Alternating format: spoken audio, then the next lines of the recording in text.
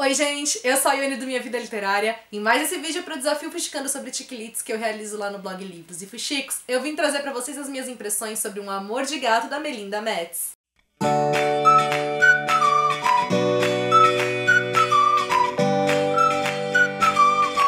Essa aqui foi minha leitura para cumprir o item do mês de março, que no caso foi ler um Chiquilite que tenha um animal na história. E gente... Ai, que coisa fofa. Eu já não tava aguentando, né, com essa capa, com esse gatinho olhando aqui. E ai, que leitura fofa e divertida. Nesse livro a gente vai ter como um dos personagens principais o MacGyver, que é um gatinho que ele adora roubar as coisas de outras pessoas, porque esse aqui é um gatinho cupido. Então ele sente no ar o cheiro que cada pessoa emite e ele percebe quando essas pessoas estão solitárias, quando elas estão tristes, quando elas estão alegres. E no caso, sempre que ele percebe o cheiro de solidão em alguém, ele tenta resolver o problema, porque na cabeça dele os humanos têm que ficar juntos, mas eles são burros demais para resolver os problemas sozinhos. Então, quando ele começa a sentir o cheiro de solidão na dona dele, ele sai procurando na vizinhança alguém que esteja emanando o mesmo cheiro. E aí ele encontra um homem que ele sabe que vai ser o parceiro ideal para sua dona e começa a roubar objetos desse homem para fazer com que os dois se conheçam, com que os dois se aproximem. No caso, a dona dele tá com 34 anos, é uma ex-professora de história, mas que ela tá naquele momento da vida dela em que ela não quer mais continuar fazendo aquilo que ela fazia, mas ela não sabe exatamente o que ela quer.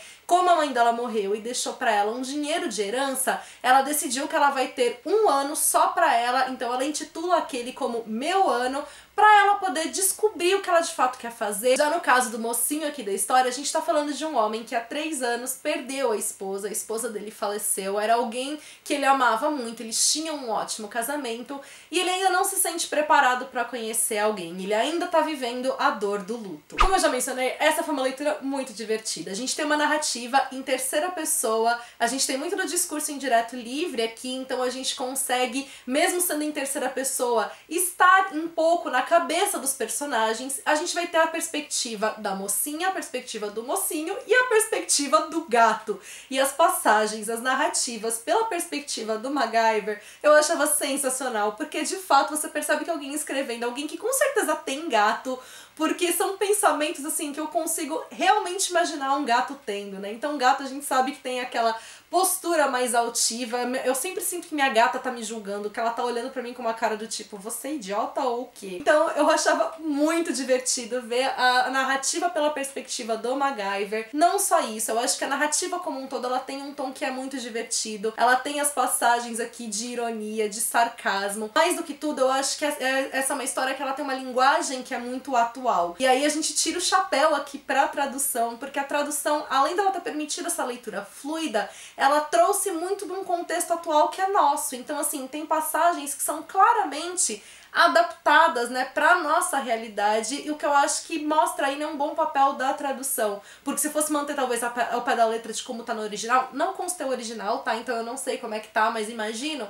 não fossem piadas talvez que fossem fazer tanto sentido pra gente. Então, só pra dar um exemplo, tem um cachorro aqui na história e o nome do cachorro é Cachorro do meme mesmo, sabe? Então que é uma coisa que é nossa. Eu achei isso sensacional, isso deixou a leitura ainda mais divertida justamente porque ela tem esse tom tão atual. As coisas que os personagens falam, a linguagem que eles utilizam, tudo. Em termos, né, de trabalhar as personagens, eu acho que isso também foi feito de uma forma muito positiva, porque a gente tem personagens que estão enfrentando questões delicadas e que é gostoso da gente ver esse amadurecimento, as dificuldades que eles enfrentam, mas tudo isso é feito também de uma maneira que é muito leve. Então não é um livro que se torna pesado em momento algum, mesmo que ele tenha essa carguinha de reflexão ali. A gente tá falando também de um ambiente que é muito agradável, então a gente tem toda a história acontecendo em uma vila, com personagens que são, que assim, com moradores, vizinhos ali, né, que se conhecem, estão o tempo todo conversando, interagindo, rola aquele ar de fofoca, de um, né, cuidar da vida do outro, de um se intrometer na vida do outro. Isso tudo torna a leitura não só também divertida,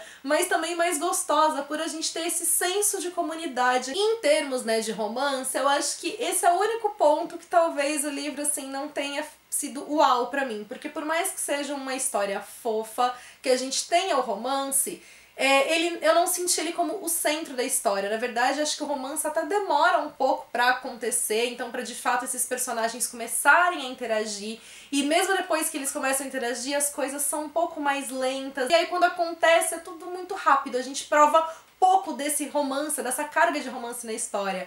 É muito divertido a gente ver cada um dos personagens passando pelos seus encontros. Então a gente tem encontros às cegas, encontros do Tinder, como eu falei, então, né, é um livro muito atual. E os encontros que eles passam são muito engraçados, são passagens realmente divertidíssimas na história.